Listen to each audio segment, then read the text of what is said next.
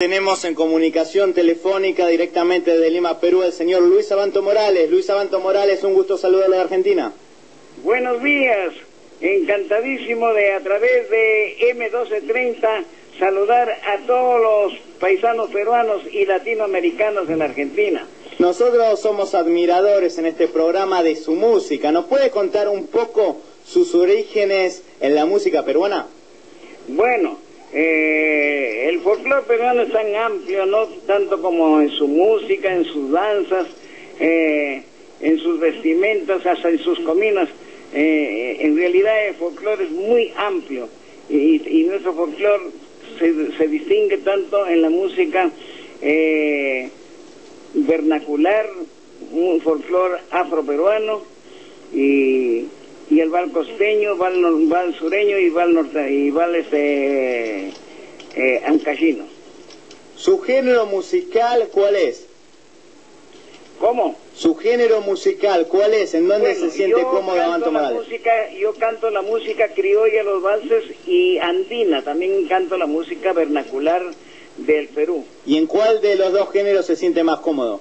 Bueno, en las dos, porque eh, hay un tema que dice, mambo, qué rico, mambo, mambo de Machaguay, mambo, qué rico, mambo, mambo de Machaguay. Esa es, esa es música vernacular. ¿Usted es de la serranía del Departamento de la Libertad? Sí, de la Libertad. El tema... Y como yo soy trujillano, tengo la marina. Trujillano de pura cepa, ese soy yo. Viva Piura con Lambaye, y mi libertad son lugares donde se baila la marinera y el tondero con gran salero a golpe cajón. ¿Ves? Eso es música marinera norteña. Sí, realmente estoy sorprendido. Eh, la capacidad musical que tiene Luis Abanto Morales, uno de los temas que más recuerdo yo, que seguramente mucha gente también lo, lo va a hacer, es el tema Yo lo soy. ¿Cómo es cantar este tema, un tema tan sentido. Que lleva pasajes de nuestra pasada historia y tú sabes que la historia es inamovible y ahora es un tema que a mí mismo me depara un profundo respeto y yo cuando voy al lugar que tengo que hacer mi presentación, de todas maneras tengo que poner yo lo soy y no me capodeja porque el público mismo lo ha convertido en un himno. Actualmente, ¿qué es de la vida de Luis Abanto Morales? Bueno, acá me tienes todavía trabajando eh, como pionero de la, del cancionero peruano y, hasta cuando Dios lo determine. ¿Qué nos puede decir de Arturo Sambo Cabero, recientemente fallecido? Bueno, sí, eh, lamentablemente pues tú sabes que nos lleva a la delantera, ¿no? Mm. Entonces este fue un intérprete de, también de nuestro acervo criollo. Él hacía la música criolla y también hacía la música morena.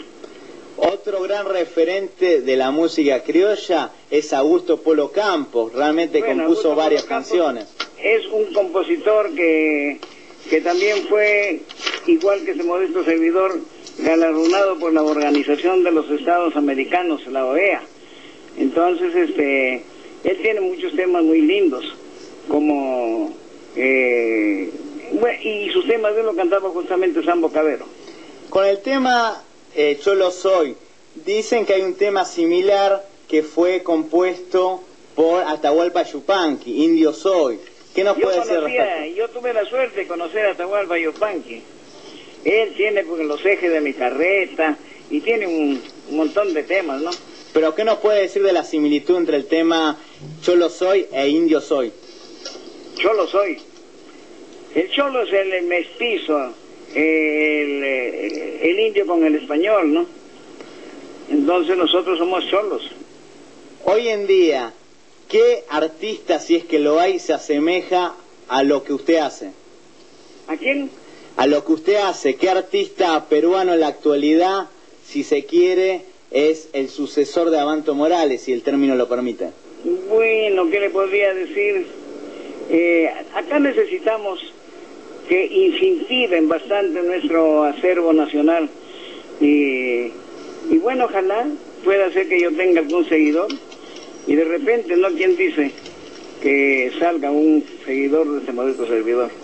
Actualmente, ¿cómo ve la música peruana con el tema de los fenómenos originados por la Tigresa del Oriente, portongo, el tema de los grupos de cumbia que son muy ponderados tanto en el Perú como en las colonias peruanas en el exterior, caso Grupo 5, caribeño. ¿Qué opina de este fenómeno musical?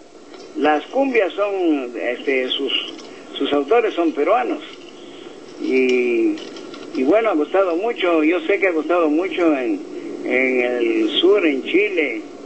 Y bueno, no solamente en Chile, en cualquier país donde va nuestra cumbia es aceptada y, y gusta mucho la baila. ¿Y a qué se debe este fenómeno del boom de la cumbia peruana? Dígame. ¿A qué se debe para usted este fenómeno de la cumbia peruana que guste tanto, sobre todo los- en el público Bueno, joven? eh, Es, la música que es, eh, esa, es- esa es la ventaja de, del talento creador de nuestros compositores peruanos que hacen esas músicas que, que llegan eh, a encuadrarse justo dentro del marco del corazón del pueblo, ¿no? Muchas gracias, Luis Abanto Morales, por Muchas esta gracias a ti también y gracias a M1230 que por intermedio de esta emisora estoy saludando a todos los peruanos y latinos en general que escuchan vuestro programa. Realmente un placer entrevistar a una de las glorias de la música peruana como el señor Luis Abanto Morales. Muchas gracias, mil gracias, hasta pronto.